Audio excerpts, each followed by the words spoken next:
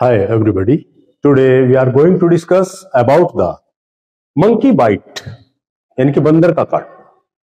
देखिए इंडिया के अंदर इंडिया के अंदर ये सेकंड लार्जेस्ट एनिमल बाइट होता है आफ्टर डॉग दूसरे नंबर पर जो है आपका मंकी बाइट के केसेस जो है इंडिया के अंदर ज़्यादा देखने को मिलते हैं, यानी कि second largest animal bite after dog in India what happens when monkey bite जब बंदर काटता है, यानी कि मंकी बाइट करता है तो क्या होता है?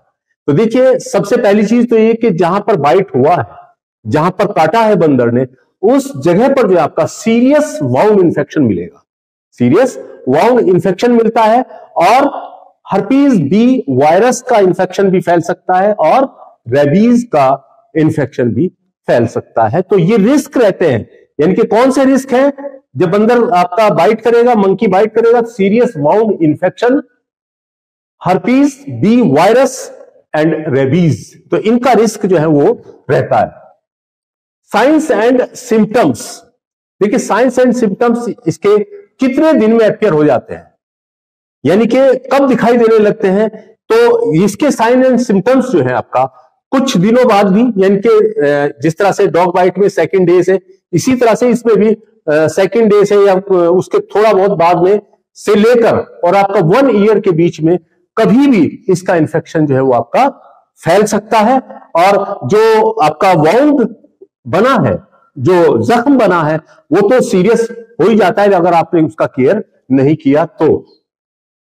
इन्फेक्शन इसका किस तरह से फैलता है? अगर मान लीजिए एक पर्सन से दूसरे पर्सन में एक इंसान तो इन्फेक्टेड हो गया तो दूसरे में किस तरह से जो है आपका स्प्रेड होता है? तो उसके अंदर जो है आपका नंबर एक direct contact with the lesion यानी कि पर्सन टू पर्सन फैलेगा।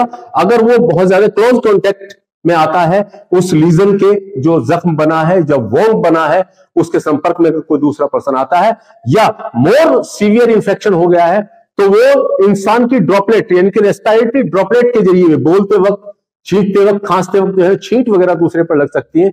तो उस उस तरह से भी ये इन्फेक्शन जो है स्प्रेड हो सकता है या जो है बेडिंग अगर एक दूसरे की शेयर करें तो उस कंडीशन में भी इन्फेक्शन फैलने का खतरा रहता है।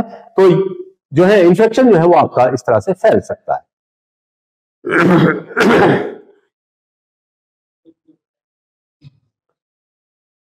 Sign and symptoms. देखिए, साइन एंड सिम्टम्स में सबसे पहली चीज़ तो जहाँ पर बाइट हुआ है तो वो जो वोंड है वो आपका सीरियस इन्फेक्टेड होगा। यानी कि उस साइड पर सीरियस इन्फेक्टेड वाउंड जो है वो आपका अपियर हो जाता है। और दूसरे, अगर इफ़ हर्पीज बी वायरस का इन्फेक्शन हुआ है तो उसका फ़र्स्ट इंडिकेटिंग साइन क्या है कि फ्लू लाइक फ्लू लाइक जो है वो आपका सिम्टम्स इंसान के अंदर अपियर हो जाते हैं। और उसके बाद, यानी कि if herpes B virus infection आकर, अगर हर्पीस बी वायरस का इंफेक्शन हो गया है तो उसमें फ़र्स्ट इंडिकेशन पहला इंडिकेशन क्या होगा? फ्लू लाइक सिम्टम्स दिखाई देंगे उसमें। फ्लू लाइक सिम्टम्स दिखाई देंगे। उसके बाद उसको फीवर चिल्स यानी कि बुखार और जो है ठंड के साथ बुखार आता है और उसकी मांसपेशियों के अंदर दर्द होता है मसल एक होता है। बाद में इंसान जो है वो आपका फैटिंग हो जाता है, बहुत ज़्यादा थका हुआ महसूस करता है और हेडेक भी उस इंसान को देखने को मिलता है। फ्यू डेज़ लेटर कुछ दिनों के बाद क्या होगा? Chicken pox like blisters appear उसकी बॉडी के ऊपर जो है चिकन पॉक्स लाइक जो ब्लिस्टर्स हैं एपियर हो जाएँगे जो बाद में लीजन्स में कन्वर्ट हो जाते हैं और उन लीजन्स को हम हर्पेटिक स्किन लीजन्स कहते हैं। हर्पेटिक स्किन लीजन्स उनको कहा जाता है। यानी कि प्रोग्रेसिव न्यूरोलॉजिकल इंपेयरमेंट के बाद जो है, जिसके अंदर जो चीज़ें कौन कौन सी चीज़ें होंगी, यानी कि कैसे साइन सिम्टम्स वहाँ पर दिखाई देंगे तो वहाँ पर आपका डिस्निया मिलेगा।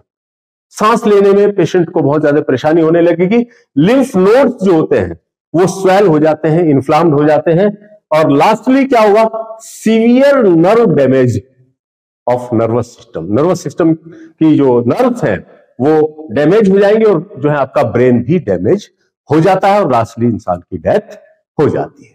होम रेमेडी के तौर पर आप क्या कर सकते हैं? यानी कि जब तक डॉक्टर अवेलेबल हो तो आपको सबसे पहला काम क्या करना है? सबसे पहला काम करना है उस बाइट मार्क्स को, जहाँ पर बाइट हुआ है, उसको अच्छी तरह से तकरीबन पंद्रह मिनट तक उसको वॉश करना है, या तो साबुन के साथ, सॉप के साथ, या लिक्विड डिटर्जेंट के साथ, या आपका एंटीसेप्टिक सॉप कोई हो, उसके ज़रिए, या जो है आपका आयोडीन सॉल्यूशन अगर है तो उसके ज़रिए जो है आप उसको अच्छी तरह से पंद्रह मिनट तक वॉश करिए। कंटिन्यू टैपिंग वाटर पानी का टंकी का पानी जो उसके ऊपर लगातार डालते रहिए, उसको वॉश करते रहिए और पंद्रह मिनट तक आप इसको वॉश करिए तो इससे काफ़ी हद तक जो है उसका रिस्क कम हो जाता है इन्फेक्शन का रिस्क जो है आपका कम हो जाता है। ट्रीटमेंट देखिए ट्रीटमेंट में क्या है? कि जितना जल्दी मुमकिन हो सके, उतना जल्दी उसका इम्यूनाइजेशन करवा दीजिएगा। सबसे पहले, जब तक वैक्सीन अवेलेबल हो, तब तक आप जो है उसको टेटनस का इंजेक्शन लगवा दीजिएगा और उसके बाद जो है आपका जो एंटी रेबीज वैक्सीन है एंटी रेबीज वैक्सीन है वो ट्वेंटी फोर आवर्स के अंदर अंदर आप उसको लगवा दीजिएगा और अगर 24 में भी नहीं हो रहा तो 72 आवर्स के अंदर, यानी कि सर्टेनली निश्चित तौर पर जो है आप उस वैक्सीन को पेशेंट को लगवा दीजिएगा। Series of four to five anti rabies vaccine यानी कि जो ज़ीरो डे पर थर्ड डे पर सेवन डे पर और फोर्टीन डे पर आप जो है वैक्सीन लगवाइए और इसके साथ साथ एक इंजेक्शन जो है आपका human rabies immunoglobulin H R I G के नाम से एक इंजेक्शन आएगा, वो भी जो है इसके साथ ज़रूर लगवाना है। इसके अलावा जो आप थेरेपी कर सकते हैं, वो आप फ्लूड थेरेपी ज़रूर कीजिए, क्योंकि मंकी पॉक्स अगर अपियर होता है तो उसका वाहिद एक इलाज होता है आपका फ्लूड थेरेपी तो आप जो है फ्लूड थेरेपी उस पर इस्तेमाल करिए।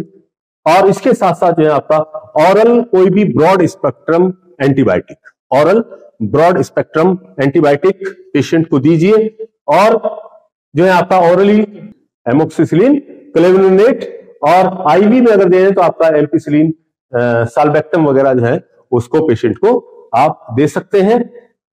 पेशेंट को अगर पेन वगैरह है तो एनर्जेसिक आप उसको दे सकते हैं।